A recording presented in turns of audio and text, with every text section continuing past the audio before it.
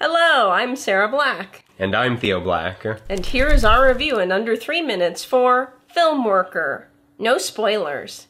A documentary about the career of Leon Vitali, one of Stanley Kubrick's most trusted film workers. I enjoyed this. It really is about Leon Vitali, who was an actor in Barry Lyndon, and how he got sort of enamored by Kubrick and, and who he was and his style, and then worked for Kubrick for the next 30 years. And it's fascinating. It's their relationship is fascinating. Leon Vitali is is fascinating.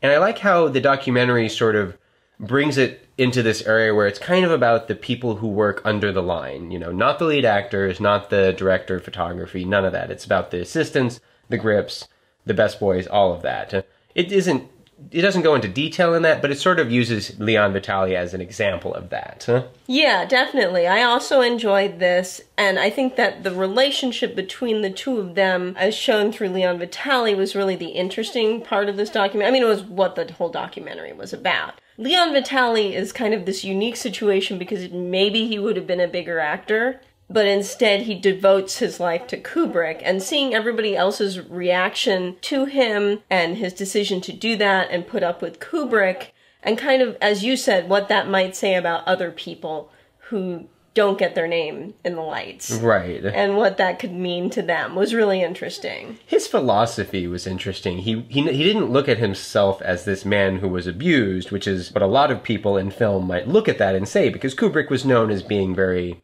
don't know if tyrannical is the word, but he was a man of strong feeling, both Yeah. maybe good and bad. Yeah. And Leon didn't look at it like he was. I mean, he, obviously he knew he was being beat up at times, but he also really enjoyed the work, and he really enjoyed, I don't know, being a part of that. So it's interesting his own philosophical sort of understanding of that situation. How even now he carries on the legacy of, of Kubrick by making sure that the prints are right. The documentary itself is at times hard to follow along with.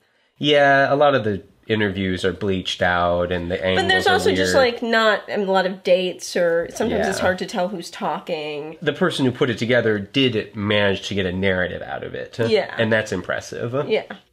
This documentary assumes you already know something about Kubrick, so you probably should going into it, but if you do, you'll likely enjoy it. no? Yeah, watch it and then go rewatch Room 237. If you've seen this or Room 237 and want to talk with us about it, you can find us on Twitter. Uh, where we might use spoilers. You can find me at pigeon underscore Sara. And me at pigeon underscore Theo.